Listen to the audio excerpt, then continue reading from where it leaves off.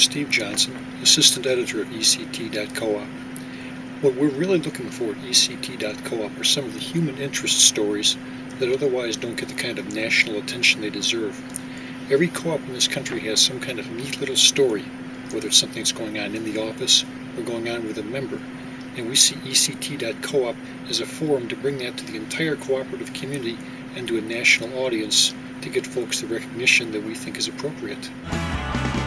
Derrill Holly, one of the staff writers here at ECT.coop. I often write about the weather situations that co-ops encounter trying to keep the lights on for their consumer members. I'm always looking for notes, quotes, and pictures. So if you've got something that your co-op's involved in, whether it's a storm, a blizzard, a hurricane, or even a tornado, make sure you let me know about it. Hi, I'm Michael Kahn, a reporter at ECT.coop, and I cover a couple of areas. First of all, if you're having a problem with copper theft or any kind of crime, our audience loves crime. If it bleeds, it leads here, as they say. So let me know about that. And also, I work with Touchstone Energy, so if your co-op uh, has some kind of activity going on uh, with Touchstone Energy that might be of interest uh, nationwide, please let me know.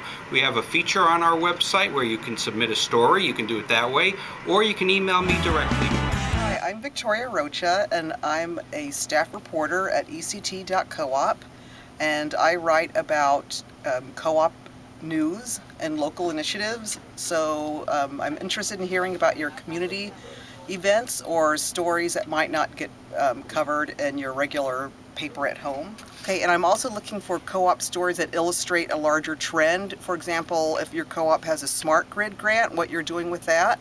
Um, I'm also going to be writing a story about uh, co-op directors using laptops or iPads during uh, their board meetings. Hi, I'm Todd Cunningham. I'm a staff writer for ECT.coop, and I'm responsible for much of our coverage of federal agencies and industry groups working on issues affecting power supply and delivery.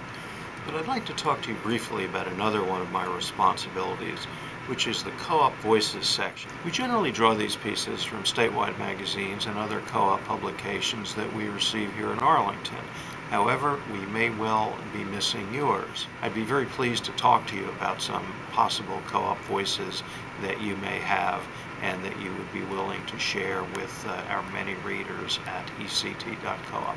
Thank you very much, and I look forward to hearing from you. I'm also in charge of um, compiling pictures for the co-op photo op. So they're just standalone pictures. So if you have anything interesting a couple of weeks ago I ran a picture of someone kissing a pig. That looks great. We're looking for horizontal high resolution shots. These uh, will give us more flexibility in terms of how we use them. Uh, we prefer to have color shots and obviously if they're historic in nature they might be black and white so keep us in mind.